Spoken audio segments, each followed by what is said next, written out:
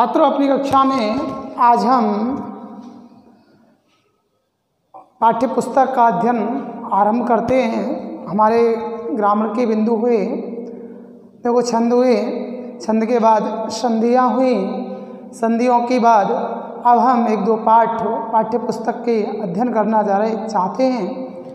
अध्यापन कराना चाहते हैं तो क्योंकि ग्रामर के अन्य एक दो पाठ होने के बाद फिर आरंभ करेंगे।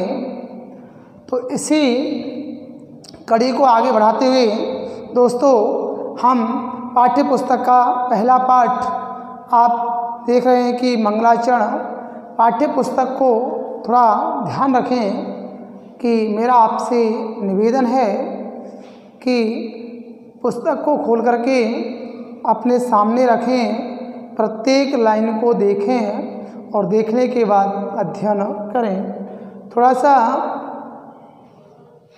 जो पाठ्य पुस्तक का पढ़ाने का वो प्रोजेक्टर है, उसमें थोड़ी सी समस्या है, क्योंकि वो उपलब्ध नहीं है। बोर्ड पर हम लिखा नहीं सकते हैं। इसलिए छात्रों, अपनी पाठ्य पुस्तक को खोल करके पहला पाठ पाठ का नाम है मंगला चरणम एक बार आप देख सकते हैं, पाठ एक और पाठ एक का नाम है मंगलाचरण। छात्रों, मंगलाचरण का अर्थ होता है शुभ विचार, शुभ प्रार्थना, शुभ निवेदन। यानी हम जो कोई भी कार्य आरंभ करते हैं तो सबसे पहला हमारा कार्य होता है मंगलाचरण करना। तो हम मंगलाचरण करते हुए पहले पाठ को आरंभ करते हैं और पहले पाठ का, प्रथम पाठ का नाम है छात्रों, प्रथम पाठ प्रथम पाठ का नाम है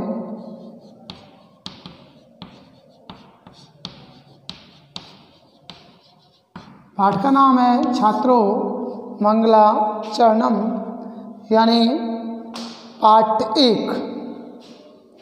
छात्रों, मंगलाचरण में हमारे पहले पाठ में वेद वेद से लिया गया है।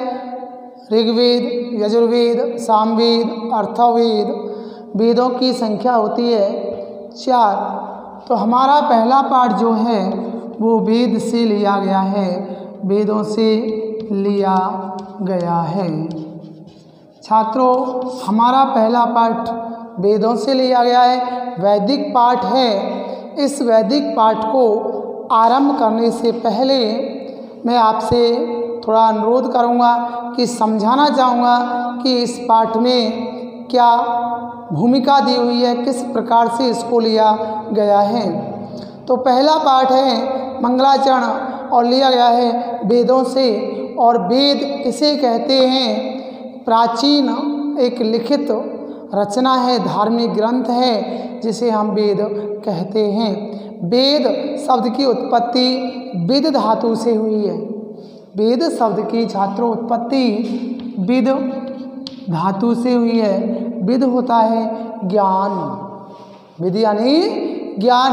तो विद धातु से बना है वेद। वेद का अर्थ होता है ज्ञान। तो ज्ञान कराने वाले जो हमारे ग्रंथ हैं, उन्हें वेद कहते हैं। ज्ञान कराने वाले ग्रंथों को, छात्रों, वेद कहा जाता है। हमें जो ज्ञान कराने वाले हैं, उन्हें हम वेद कहते हैं।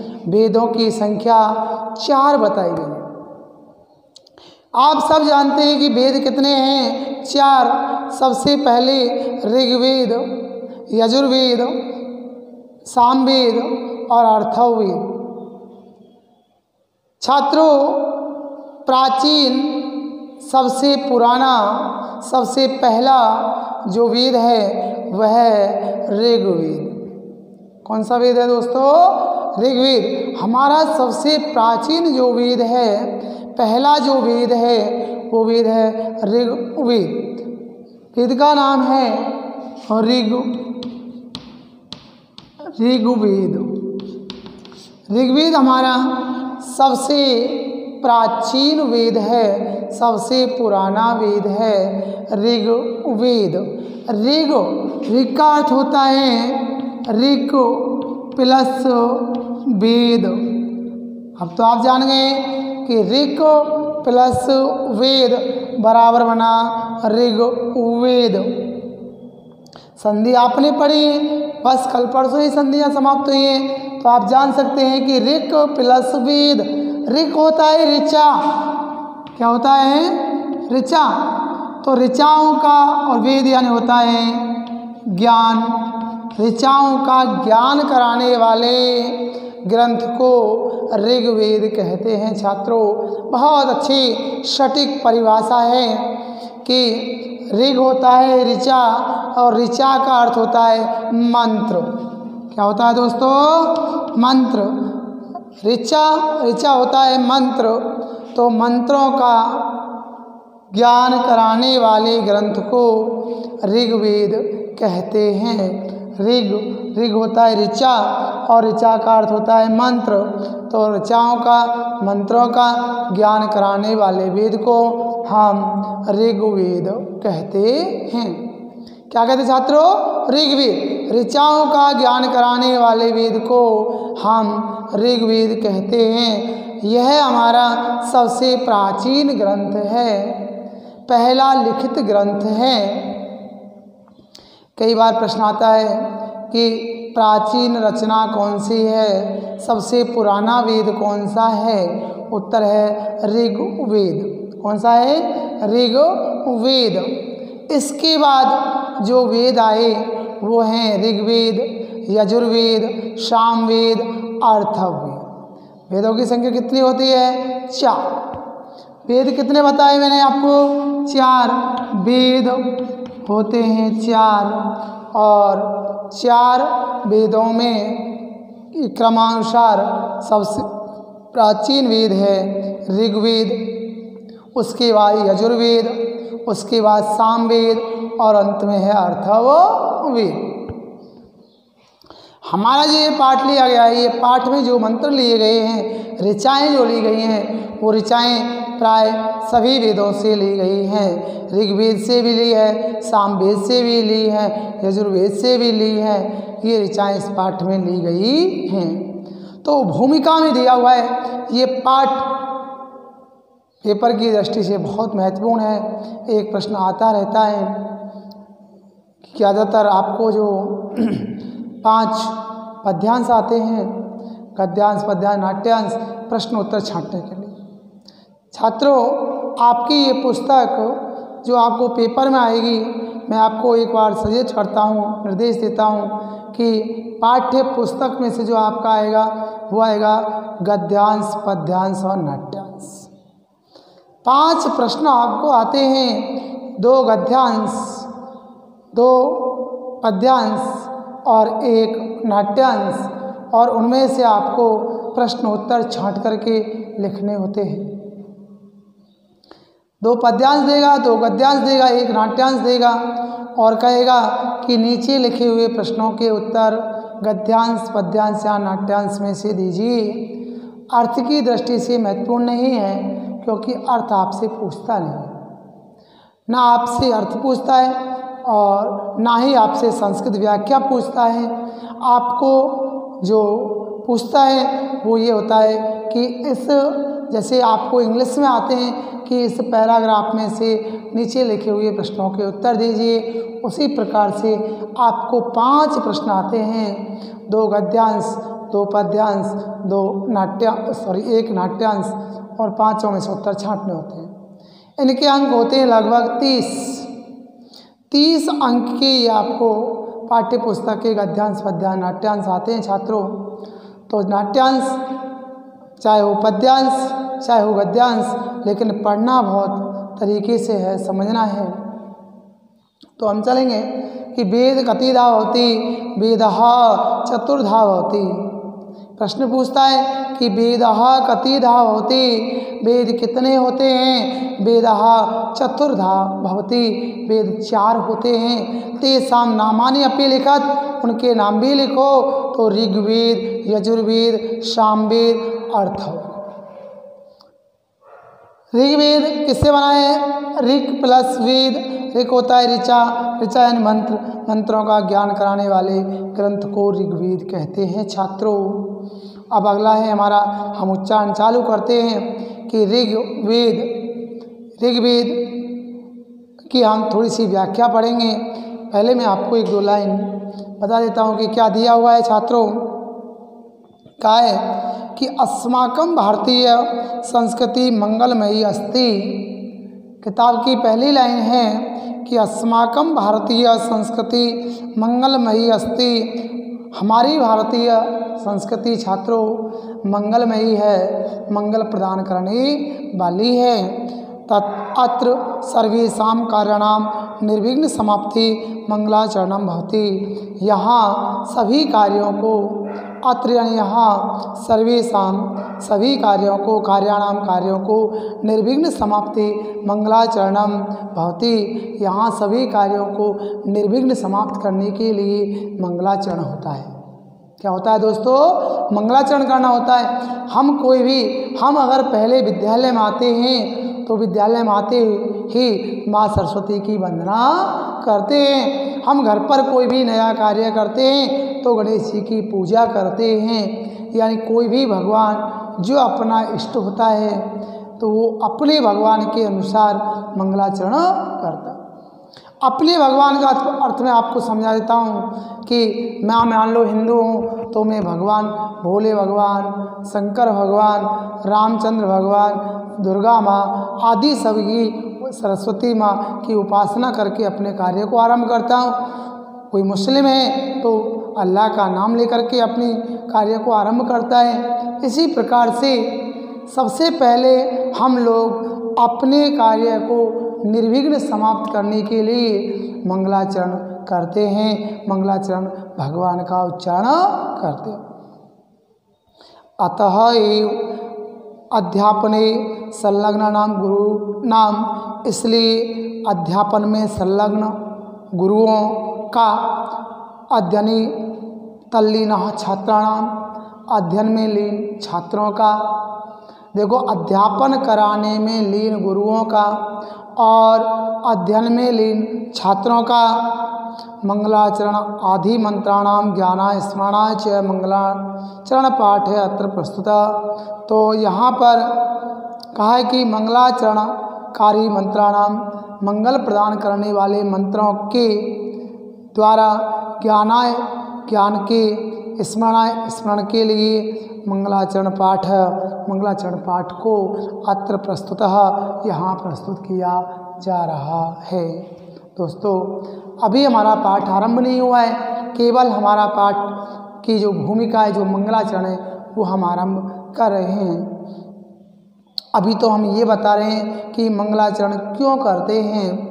मंगलाचरण इसलिए करते हैं कि हमारे कार्य की जो हम कार्य आरंभ कर रहे हैं, उस कार्य की निर्विघ्न दोस्तों, निर्विघ्न समाप्ति हो जाए। निर्विघ्न निर्विघ्न का अर्थ होता है बिना विघ्न के, बिना बाधा के हमारा कार्य समाप्त हो जाए, उसे हम निर्विघ्न कहते हैं। हम भगवान का नाम इसलिए लेते हैं कि हे ईश्वर, हमारा जो ये कार्य है, जिसे हम आरंभ करने जा रहे हैं, वो कार्य हमारा निर्विघ्न समाप्त हो जाए। बिना संकट के, बिना कष्ट के, बिना बाधा के समाप्त हो जाए। तो हमारा ये पाठ है कि पहला जो मंत्र लिया गया है, वो पहला मंत्र दोस्तों, मैं आपको समझा देता हूँ कि ऋग्वेद से लिया गया है। किससे लिया गया है? ऋग्वेद से। तो इसके लिए मैं आपको एक थोड़ी सी भूमिका बता देता हूँ कि बेटा, ऋग्वेद में, ऋग्वेद प्राचीन वेद है। ऋग्वेद ये प्रश्न कई बार आता है। आपको एक चीज़ और याद दिला देता हूँ कि आपको दस नंबर का साहित्य आएगा। संस्कृत साहित्य का इतिहास। एक प्रश्न आपको आता है, उसमें आठ प्रश्न आते हैं। संस्कृत साहित्य का इतिहास में आठ प्रश्न दिए जाते हैं। छः प्रश्न होते हैं एक एक नंबर के और दो प्रश्न होते हैं दो दो अंक के। इस प्रकार से हुए दस अंक दोस्तों। और उन प्रश्नों में जो पूछा जाता है, वो जो ये पाठ हैं, उन पाठों में जो मंगलाचरण के ऊपर दिया हुआ, जो भूमिका दी हुई होती है, सौ प्रतिशत उस भूमिका में से पूछा भगवान से आशा करता हूँ, मैं अपना जो स्मरण आपको याद दिला जाता हूँ कि विगत वर्षों में, कई वर्षों में जो आपका इतिहास आया है, वो इन्हीं पाठों से, ऊपर से जो भूमिका है, उसी से आया। आप पिछले वर्ष का पेपर उठा के देखो, इससे पहले देखो, विगत पाँच वर्षों के प्रश्न पत्र उठा के देखोगे तो ये जो भूमिका है ना उस भूमिका में से आपको ये आठों प्रश्न मिल जाते हैं। आपको पासबुक में जाने की ज़रूरत नहीं है। मैं आपको बार बार पाठ पढ़ाऊँगा, उनका उच्चारण कराऊँगा। आप यदि मेरे साथ उनका मनन करते रहेंगे तो मैं आपको विश्वास दिलाता हूँ कि कक्षा में ही वो प्रश्न आपको याद हो जाए। बाहर जाने ज़रूरत नहीं कि आपको यहीं जैसे मैं पाठ पढ़ाऊँगा, एक बार उसका रिवीजन कराऊँगा तो निश्चित ही वो प्रश्न आपको यहाँ याद हो ऐसी मैं ईश्वर से आशा करता हूँ। तो पहला जो मंत्र है हमारा, वो ऋग्वेद से लिया गया है। तो ऋग्वेद के बारे में आपको जो महत्वपूर्ण प्रश्न हैं, जो पाठ्य पुस्तक में से आते हैं, जो आपके साहित्य के प्रश्न में मिलते हैं, निश्चित ही ऋग्वेद से संबंधित एक प्रश्न आपको ज़रूर आएगा दो अंक का।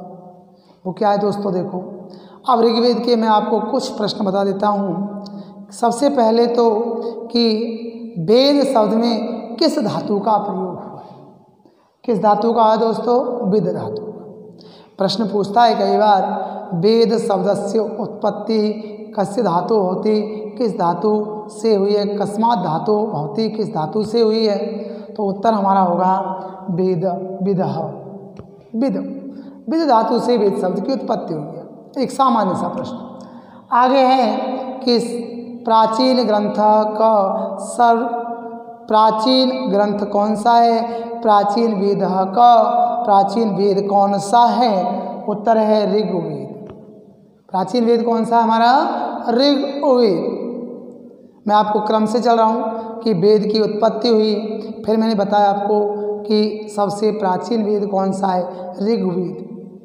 ऋग्वेद में कस्य वर्णन होती किसका वर्णन प्राप्त होता है? ऋचा।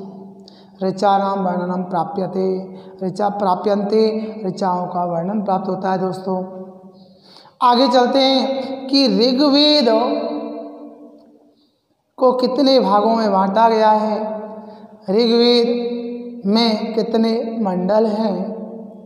तो ऋग्वेद को देखो, दस मंडलों में बांटा गया है। छात्रों, बहुत महत्वपूर्ण प्रश्न है। कई बार तो आपको पासबुक में दो दो बार मिल जाएगा कि ऋग्वेद कति मंडलेशु विभक्त अस्ति ऋग्वेद कितने मंडलों में बटा हुआ है? विभक्त है। कति मंडलेशु विभक्त अस्ति कितने मंडलों में बटा हुआ है? दस मंडलेशु कितने मंडल हैं छात्रों? दस। ऋग्वेद में मंडलों की संख्या कितनी है दोस्तों? मंडल मंडल बराबर दस। ऋग्वेद में मंडलों की संख्या है दोस्तों, दस। कितनी संख्या है? दस। पूछता है, महत्वपूर्ण प्रश्न है कि ऋग्वेद में पहला है मंडल बराबर दस। ऋग्वेद में मंडलों की संख्या कितनी है छात्रों? दस।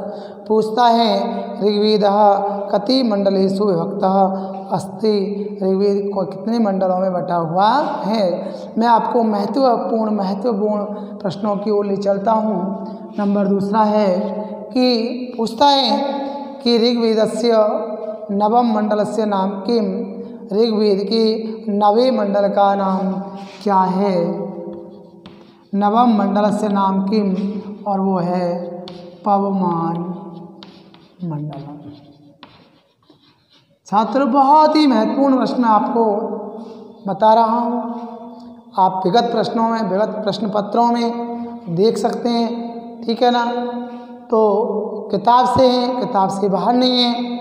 कि ऋग्वेद में कितने मंडल हैं? दस। और नवे मंडल का नाम क्या है? पवमान। मंडल। कई बार पूछा गया है ऋग्वेद से नवम मंडल से नाम किम ऋग्वेद के नवे मंडल का नाम क्या है? वो दोस्तों, वो है पवमान मंडल। कौन सा बेटा? पवमान मंडल। अगला चलते हैं हम, कि आपकी पुस्तक के अनुसार चलते हैं, ऋग्वेद में कितने अनुवाक हैं? क्या है दोस्तों? अगला प्रश्न है, अनुवाक। कितने अनुवाक हैं? वो हैं पंचासी अर्थात पिचासी अनुवाक हैं।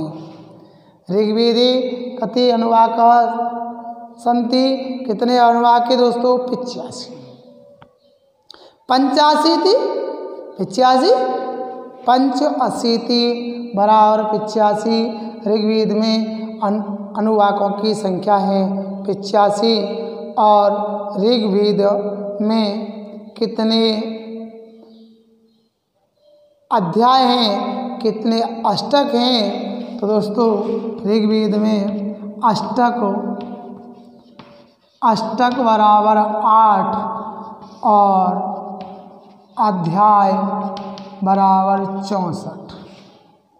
दोस्तों, ऋग्वेद में आठ अष्टक चौंसठ अध्याय हैं। अध्याय कितने हैं?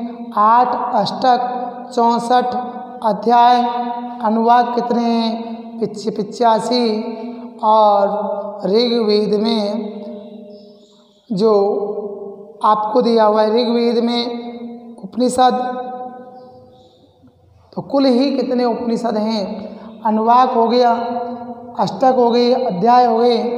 अब हम चलते हैं महत्वपूर्ण प्रश्न की ओर कि कितने महत्वपूर्ण कितने हमारे जो उपनिषद हैं, वो हैं छात्रों, उपनिषद।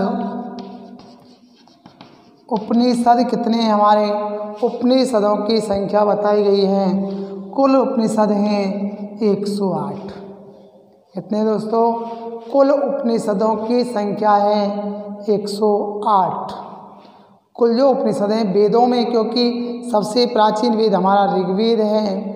और ऋग्वेद, लेकिन यहाँ ये ध्यान रखना दोस्तों, ये जो उपनिषदों की संख्या है, वो सभी वेदों से मिलकर है। कुल उपनिषदों की संख्या कितनी है? 108 लेकिन महत्वपूर्ण उपनिषद कितने हैं दोस्तों? 11 महत्वपूर्ण उपनिषद हैं 11 मुख्य उपनिषदों की संख्या है 11 और कुल उपनिषद हैं एक 108 आठ। देखो, मंडल हुए दस, नवे मंडल का नाम है पवमान मंडल, अनुवाक हुए पिचासी, अष्टक हुए आठ, अध्याय हुए चौंसठ और कुल वेदों में कुल उपनिषद हुए छात्रों 108 और महत्वपूर्ण उपनिषद हुए 11 और अगर हम वर्गों की ओर चलें तो वर्ग हैं 208 कितने वर्ग हैं? 208 वर्ग होते हैं। और अब एक महत्वपूर्ण प्रश्न है कि मंत्र किसने? हैं क्या है दोस्तों? मंत्र। मंत्रों की संख्या है दस हज़ार पाँच सौ अस्सी। ऋग्वेद में मंत्रों की संख्या कितनी है? दस हज़ार पाँच सौ अस्सी है। ठीक है दोस्तों, कई पुस्तकों में दो चार पाँच का अंतर हो सकता है, लेकिन कुछ में कम है। किसी पुस्तक में दस हज़ार और पाँच सौ चौहत्तर बताए गए हैं। ठीक है ना? किसी में दस हज़ार पाँच सौ से कुछ बताए गए हैं, लेकिन महत्वपूर्ण सार के तौर पर जो प्रमाणित किया गया है, वह मंत्रों की संख्या दस हज़ार पाँच सौ अस्सी ये आपकी पुस्तक में ही लिखा हुआ है। तो ऋग्वेदों की संख्या कितनी है? दस हज़ार। मंत्रों की संख्या है दस हज़ार पाँच सौ अस्सी है दोस्तों। पूछता है कि ऋग्वेदी कति मंत्राणाम संख्या भवती ऋग्वेद में कितने मंत्रों की संख्या होती है? वो कितनी है बेटाओ दस हज़ार पाँच सौ अस्सी। अब सूक्त हैं सूक्तों की संख्या कितनी है? सूक्तों की है एक हज़ार अट्ठाईस। जो कुल सूक्त हैं, महत्वपूर्ण सूक्त हैं, उन सूक्तों की संख्या है कुल सूक्त एक एक हज़ार अट्ठाईस बताए छात्रों, कुल सूक्तों की संख्या है एक हज़ार अट्ठाईस। देखो, ऋग्वेद का परिचय आपसे पूछता है। ऋग्वेद से परिचय परिचय आपको पूछता है। तो देखो, एक एक नंबर के जो प्रश्न है, वो यहाँ से आएँगे। और यदि आपसे पूछेगा, ऋग्वेद का दो नंबर का प्रश्न तो मैं बताऊँगा वो कहाँ से आए।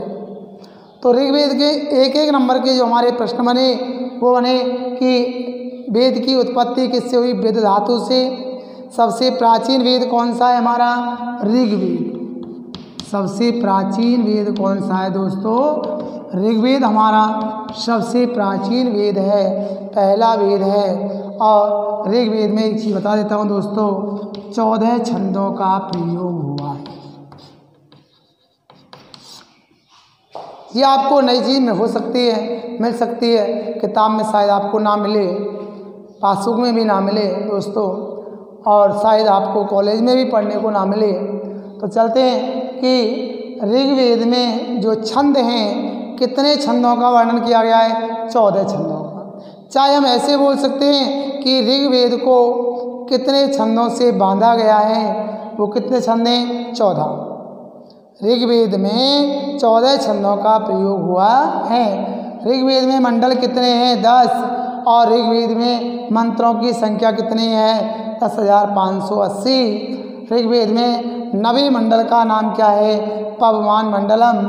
अनुवाक हैं, पिचासी, अष्टक हैं, आठ, अध्याय हैं, चौ, चौंसठ, और सभी वेदों में कुल उपनिषदों की संख्या है 108 और महत्वपूर्ण उपनिषद कितने हैं? 11 लेकिन वर्तमान नई पुस्तकों में आ रहे हैं दस। दोस्तों, कितने आ रहे हैं? दस। एक उपनिषद को और हटा दिया गया है, और माने महत्वपूर्ण दस। इस इन दस, ग्यारह उपनिषदों को याद करने के लिए मैं आपको एक बहुत छोटी सी लाइन ट्रिक्स के रूप में बता सकता हूँ। ट्रिक है कि ईसा का बृहद केक प्रसन्न मामू ने स्वेच्छा से इतरा कर काटा। देखो बच्चों, आज के ज़माने में, वर्तमान युग में, आधुनिक काल में बर्थडे पार्टियाँ बहुत चल रही हैं। जन्मदिन की मुबारकबाद शुभकामनाएँ मनाना बहुत चल रहा है। अब तो बस जन्मदिन पर चलो साहब, बहुत बढ़िया पार्टी चलेगी, केक काटेंगे और पूरा प्रोग्राम करेंगे। तो वही मैं उसी ट्रिक के माध्यम से आपको समझाना चाहता हूँ कि एक बच्चा है ईसा, जिसको बोल सकते हैं ईस। ईश्वर बोल सकते हैं कि ईश्वर के जन्मदिन पर एक पार्टी हुई और पार्टी में एक लाइन लिखी गई है कि ईसा का बृहद केक, क्योंकि जन्मदिन पर केक काटा जाता है। क्या काटा जाता है बेटा? केक। और केक भी बृहद होता है, बड़ा। बृहद यानी बड़ा। तो कहा कि ईसा का बृहद केक प्रसन्न मामू ने। कौन थे? मामू। मामू आए थे। मामा जी को बोलते मामू। प्रसन्न मामू ने स्वेच्छा से, अपनी इच्छा से, स्वेच्छा से इतरा करके काटा। क्या किया दोस्तों? काटा। इस लाइन में आपको ग्यारह उपनिषद मिल जाएँगे दोस्तों। लाइन भी याद हो गई। आप दो बार बोलोगे, याद हो जाएँगे। कि सर जी ने बताया था कि उपनिषदों को याद करने का तरीका है कि हम उपनिषदों की पार्टी में गए और उपनिषदों की पार्टी में उपनिषद होते हैं, वेद वेद होते हैं, भगवान। वेद क्या होते हैं? भगवान।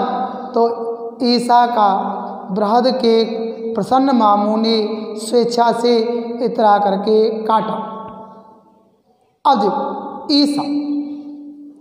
ईसा ईसा से बनता है ईसा वास्य उपनिषद दोस्तों। ईसा से क्या बनता है? ईसा से बनता है ईसा वास्य उपनिषद। क्या बनता है दोस्तों? ईसा से बनता है ईसा वास्य उपनिषद। ईसा का बृहद केक दूसरा है दोस्तों, बृहद। बृहद होता है बृहद आरण्यक क्या होता है दोस्तों? बृहद ईसावास्य उपनिषद, ईसा का बृहदारण्यक बृहद केक केक से होता है के और क्या, यानी केन उपनिषद और कठ उपनिषद। क्या बन गया दोस्तों? केन और कठ।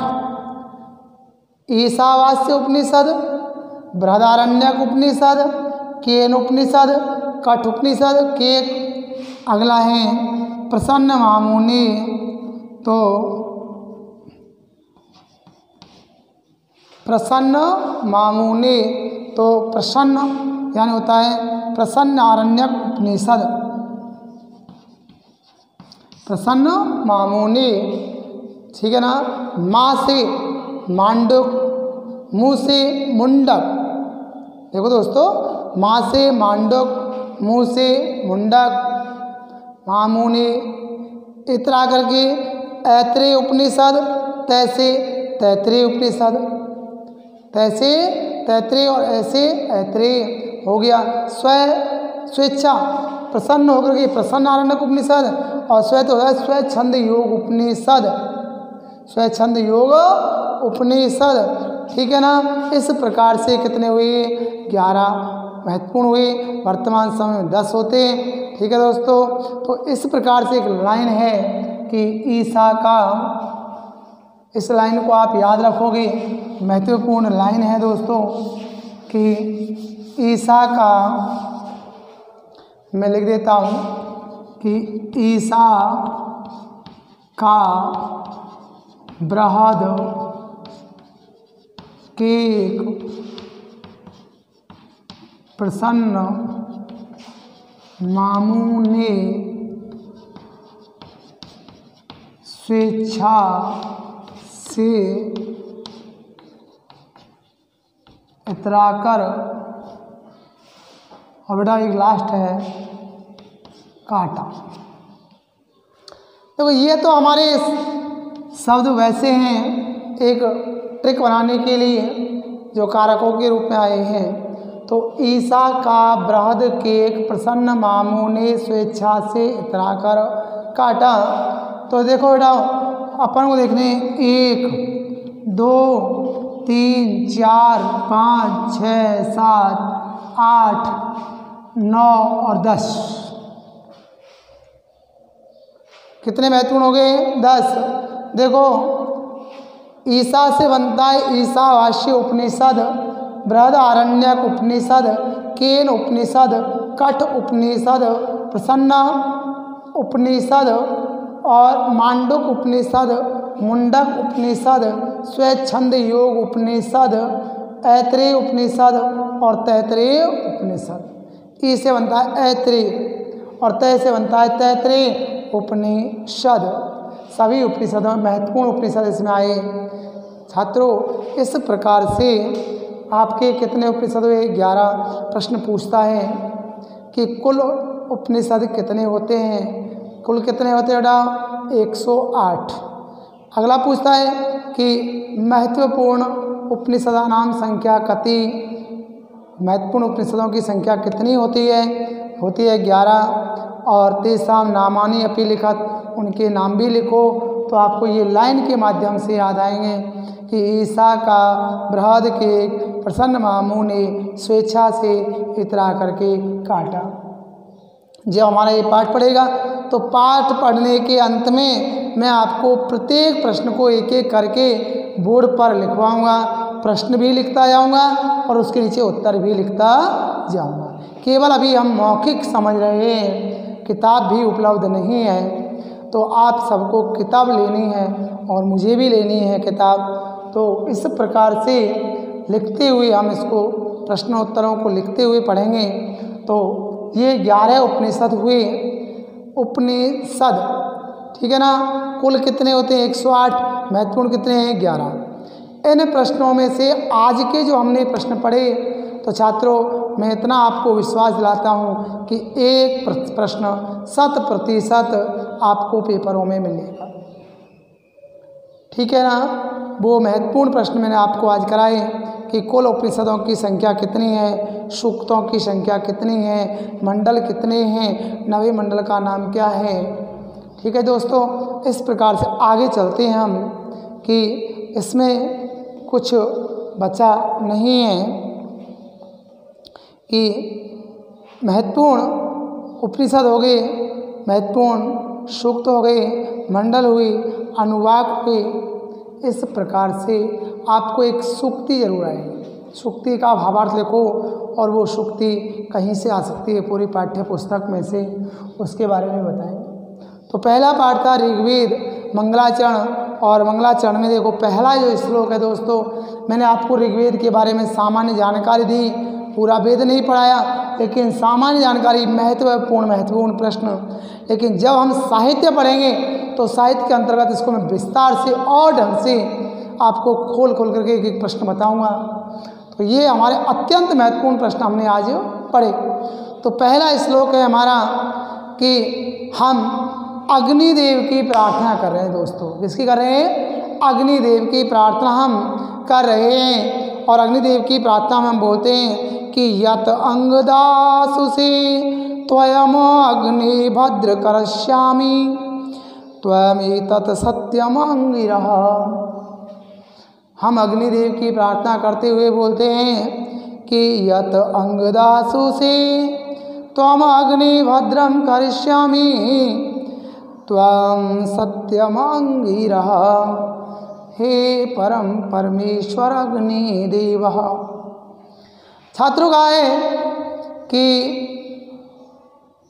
लेखक, चाहे ऋषि बोलो, चाहे लेखक बोलो, वो प्रार्थना करते हुए कहते हैं कि, हे परम पिता परमेश्वर, यत अंग दासु से कि जो आप इस हवन में, अग्निदेव में जो समर्पित कर रहे हो, यजमान, वो हमारे यजमान को प्राप्त होगी क्या कहा है दोस्तों? कहा कि, हे परम प्रताप परमेश्वर, कहा कि, ऋषिदेव, हम अपने कल्याण के लिए प्रार्थना करते हुए कहते हैं कि, हे अग्निदेव, जो ब्राह्मण आपके हवन में आहुति दे रहा है, उस आहुति देने वाले यजमान के लिए कल्याणकारी। कल्याण हो, शुभ हो, कल्याणकारी फल प्राप्त होवे। हे अग्निदेव, अंगार ऋषि के पुत्र अग्निदेव, उसका फल क्या है? कल्याण के रूप में प्राप्त हो हे अग्निदेव, तुम सत्य हो। अंगार अंगीरा अंगीरा होता है। अंगार ऋषि को जन्म देने वाले अग्निदेव, तुम सत्य हो। तुम क्या हो बेटा, सत्य। वेदों का पाठ है। कहा गया है कि जो हवन में दान करने वाले हैं, हवन अपन करते हैं, कोई भी कल्याणकारी कार्य करते हैं तो आहुति देते हैं दोस्तों। तो आहुति देने वाले यजमानों का कल्याण हो और उसका फल हमें भी प्राप्त होवे। हे अंगार, ऋषि को जन्म देने वाले अग्निदेव, तुम सत्य हो। तुम क्या हो? सत्य हो। तो यहाँ पर अग्निदेव की प्रार्थना करते हुए कहा है कि, हे अग्निदेव, जो तुम्हारे लिए आहुति देते हैं, तुम्हारे हवन में जो कल्याण स्वरूप आहुति प्रदान करते हैं, उन यजमानों के लिए कल्याण प्राप्त हो, कल्याणकारी फल प्राप्त हो और उसका फल हमें भी प्राप्त हो। इस प्रकार से अंगार ऋषि को जन्म देने वाले अग्निदेव, तुम सत्य हो। सत्य का मतलब तो हमेशा शाश्वत हो। शाश्वत का अर्थ होता है स्थिर रहने वाले हो। हे अग्निदेव, जब तक ये सृष्टि है, तब तक आप सत्य हो, स्थिर रहने वाले हो। दोस्तों, पहले श्लोक का अर्थ हुआ इस पाठ में पाँच श्लोक हैं। और पहले श्लोक बोल दो, चाहे मंत्र बोलो। पहले मंत्र का अर्थ है कि पहले मैंने मंत्र पढ़ा यद अंगिरादासुषि त्वयं अग्निभद्रम करिष्यामि। त्वयं सत्यम अंगिरः कि हे अग्निदेव, इस हवन में आहुति देने वाले यजमान का कल्याणकारी फल प्राप्त होवे। अंगार ऋषि को जन्म देने वाले अग्निदेव, तुम सत्य हो। तुम क्या हो? सत्य हो। इस पहले श्लोक में दोस्तों कल्याण की कामना की गई है। अग्निदेव से यजमान के कल्याण की प्रार्थना की गई है दोस्तों। इसका भावार्थ हुआ कि इस पहले मंत्र के द्वारा हमें अग्निदेव से प्रार्थना करते हुए कल्याण की कामना की है कि इसका फल यजमान को प्राप्त हो, उसका कल्याण हो दोस्तों। ठीक है, आज इस पहले श्लोक का हमने अध्यापन किया, कल पुनः इस कक्षा को फिर आरंभ बढ़ाएँ, करेंगे आगे। आपसे निवेदन है, बार बार, कि आप अपनी पाठ्य पुस्तक को खोल करके अपने सामने रखें। मैं एक एक लाइन आपको या तो लिख करके या मुँह जवानी बोलते जाऊँगा और आपका, उसका अर्थ आप करते हुए, समझते हुए जाएँगे। इसके लिए धन्यवाद, छात्रों। कल पुनः फिर आगे।